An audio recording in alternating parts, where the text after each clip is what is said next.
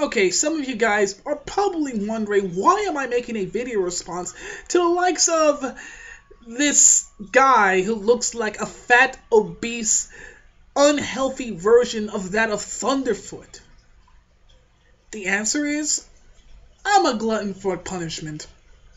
You know, I want to see on how far I can go without losing my fucking mind. This is the third part of the fuck John Henry saga. Let's. I hear voices in my head, they counsel me, they understand, they talk to me.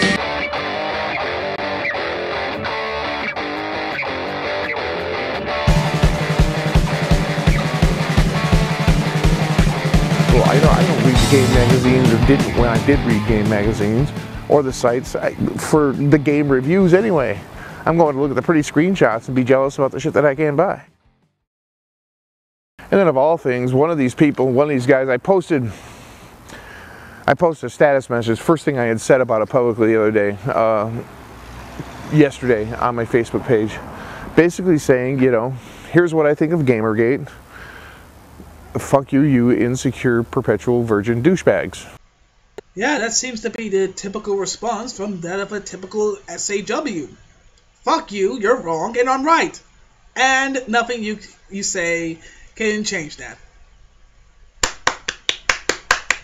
Bravo. Comes to shove that you're actually someone who is, mm, I don't know, reasonable. That's what I think of Gamergate. And of course, somebody wants to respond and they want to go into this, oh, well, it's about the journalistic ethics. And the guy links me to a story on Breitbart.com, for Christ's sakes. I mean, this is like, you know, the walking, living example of complete lack of journalistic ethics for the last 20 years. This is the guy that brought James O'Keefe to the world, for Christ's sakes. It's like learning about, you know, how to be sober by going to the bar. I mean, it just doesn't work that way. And if you don't know that, and if you don't take that seriously, you are in no position ever, ever, ever to go lecture anybody else about journalistic ethics. then this applies to you too because you know nothing about journalistic integrity. For the past two videos that I've made about you, you've done nothing but show stupid, stupid shit on how Gamergate is all about Zoe Quinn and blah blah blah blah. Fuck you! You know nothing about journalistic integrity. I study this shit in case that goes by people and I'm just some dickhead running his mouth on a camera. No, you fucking haven't. No, you have not. Truly, have fucking not. Let me explain to you. You basically said that Gamergate started out with this guy who's just all jealous about Zoe Quinn and wants to ruin Zoe Quinn's life. And and thus, you know, hashtag Gamergate is all about harassing Zoe Quinn and not about journalistic integrity. When in re- in reality, it never was about Zoe Quinn. Yeah, Zoe Quinn may have start, you know, sparked the realization on corrupt journalism, but the majority of focus is on uh, ethics in journalism, not fucking Zoe Quinn. I've made it my business and my time and my life over the last few years to understand how these things. I know where the Society of Professional Journalists Ethics Code website is. I've not just looked it up in Google and scanned it so I could win an internet argument. I had to write about it and learn it and understand why the ethics are the way they are and understand why there are the points that are made in that document, what they mean, why they're relevant, how they apply. I understand journalistic, journalistic ethics. This isn't about journalistic ethics. This is about trying to control women and be a dick. We already know up to this point that this is just total fucking bullshit because I've seen lots and lots of Google Hangouts with plenty of fucking girls. There's even a Google Hangout with only girls, for fuck's sakes. And, you know, keep in mind that there are lots and lots of female gamers who who is in favor of Gamergate. And you're telling those women that they're trying to control other women. That we're, we're just wanting, we just want to control women. That's it. Yeah, yeah, yeah. That makes total fucking sense.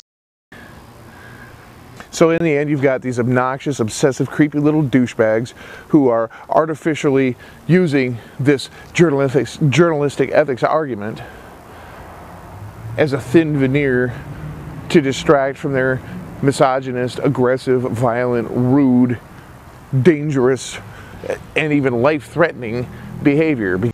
Yeah, because social justice warriors definitely don't do that. Now, do they?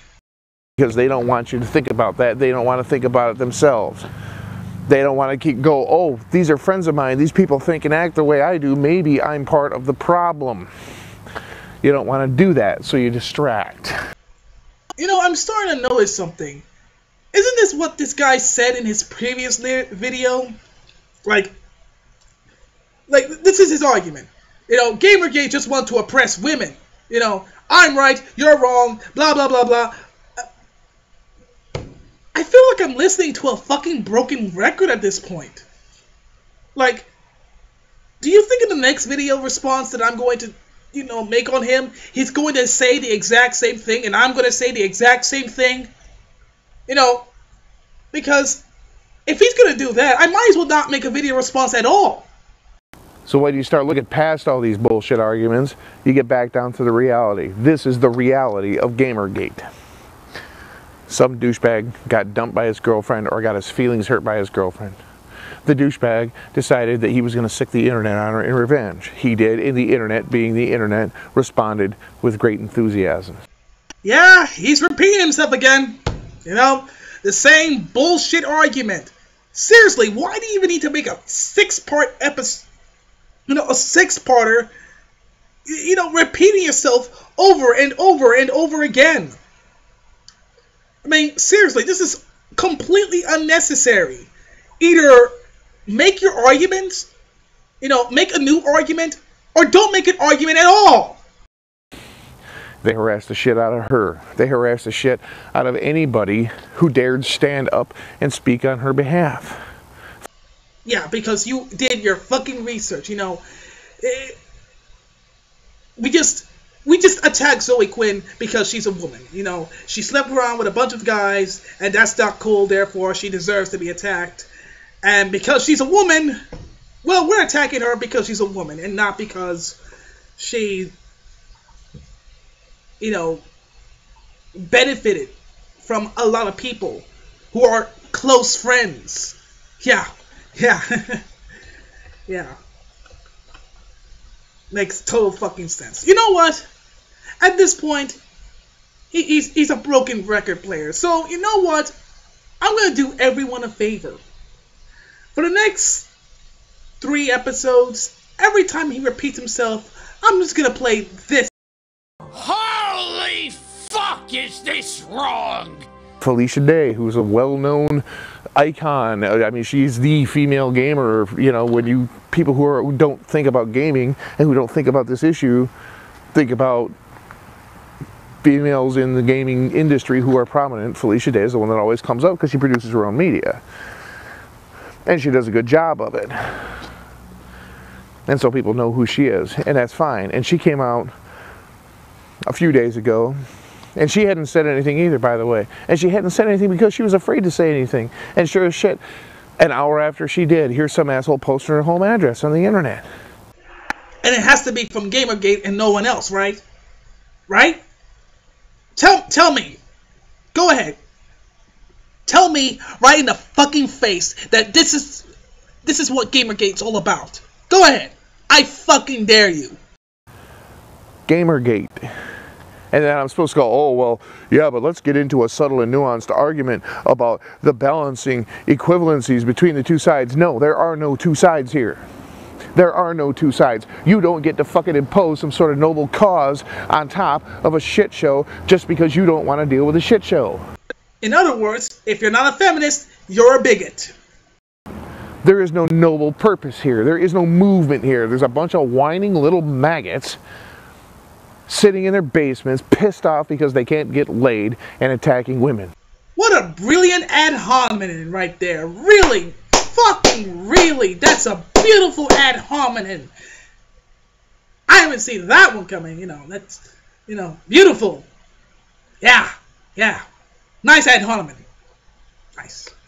That's what we have going on here. And that, whether you like it or not, that is what people attach to the word Gamergate. That is what your little hashtag means to that part of the world that doesn't live inside your own mind and in your computer in some fantasy world someplace. Why the fuck do I even bother with this fucking asshole? I am the Atheist Gamer. Stay tuned for part 4. Peace the game out. If you enjoy watching this video, click on the like button. Subscribe to this channel for more videos. And of course, you can follow me on Facebook, Twitter, and ugh, Google Plus. We all know Google Plus fucking sucks.